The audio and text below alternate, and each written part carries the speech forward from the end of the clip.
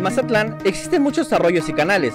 La existencia de estos es fundamental para los tiempos de lluvia. Sin embargo, el tirar basura en ellos podrá provocar inundaciones y desbordamientos. Acompáñanos a conocer más sobre este tema. Si alguna vez has caminado por la orilla de algún arroyo en Mazatlán, te has dado cuenta que la basura abunda en algunas zonas, sobre todo en zonas donde no hay vigilancia o hay terrenos invadidos.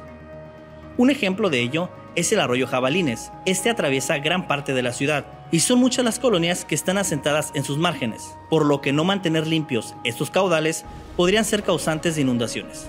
En temporadas de lluvias pasadas, colonias como Jacarandas, 20 de noviembre y La Foresta se han visto afectadas por el desbordamiento del arroyo Jabalines, y aunque el dragado en arroyos es importante, mantenerlos limpios lo es aún más. ¿Hace falta más atención por parte de autoridades? ¿Más vigilancia? ¿Más trabajos de limpieza? ¿O es culpa de la ciudadanía por seguir arrojando basura a las orillas de los arroyos? El no tirar basura en arroyos y canales es fundamental para evitar que estos se desborden. Ahora, déjanos tu opinión en los comentarios. En imágenes y edición, Ulises Burgueño. Reportó para la reacción informativa Kevin Miranda.